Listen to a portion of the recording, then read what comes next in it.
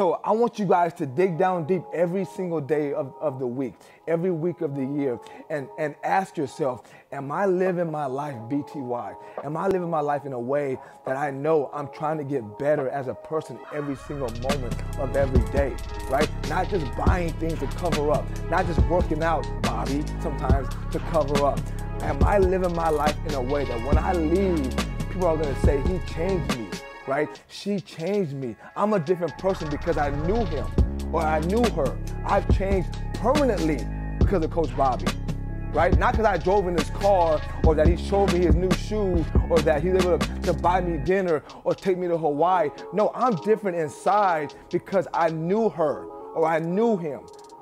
That's what it's about. BTY is about you. It ain't about me.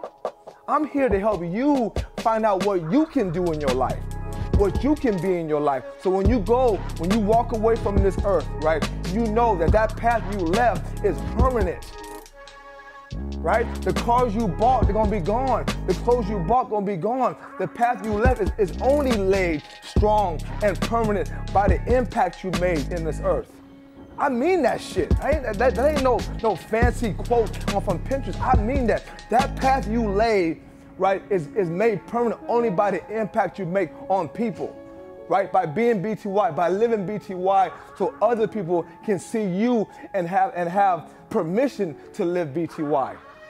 Right? You have a nice car, right, and nice and nice clothes and a six pack, but that don't change people. Right? If you teach them why you got that and how it helps you be better, that can change them. Right? So yes, I'm all about right? Rewarding yourself for doing things the right way. When I make it big, when I'm able to impact thousands of people, I'm gonna go to Hawaii. I'm gonna buy a nice car. But that's gonna be the reward for making the impact, right? Not, not.